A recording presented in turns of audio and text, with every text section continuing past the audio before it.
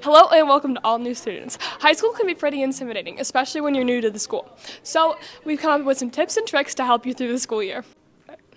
When you first walk in, there's the main office. This is where both Mr. McCowan and Mr. Ryan's offices are.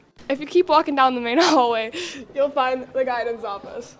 Here you can change your schedule and set up meetings with your counselors. Across the hall is the nurse's office.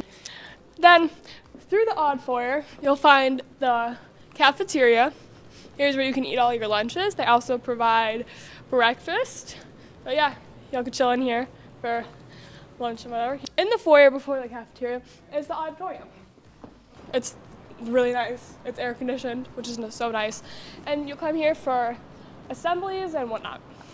This is the gym. This is where you have all your gym classes. It's super fun in here. Yeah. Woo. You don't get hit.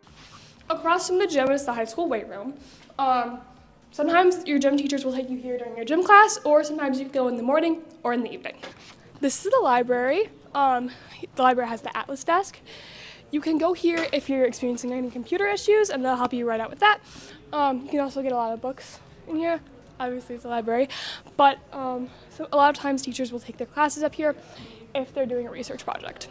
In high school, it's very important to get involved in clubs and activities. So in this hallway, there's a club calendar. There's usually a bunch of stuff on it telling you when clubs is, but try to join clubs um, and just get involved as much as you can, and it'll make the most of your four years. Along with your main core classes at Eldon High School, you can also choose electives.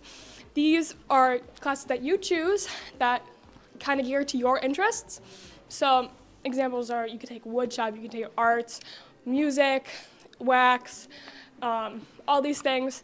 They can, as you start to go into high school, you start to decide what you want to do in the future, and these classes can help a lot with that. So one of the things that you really want to be following here at the high school are some of the rules.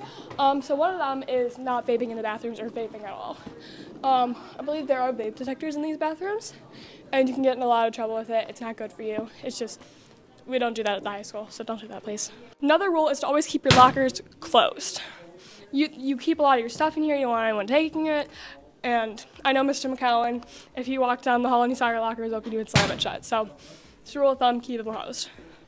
One last thing that's very, very, very important is that you always come to school with your Surface fully charged.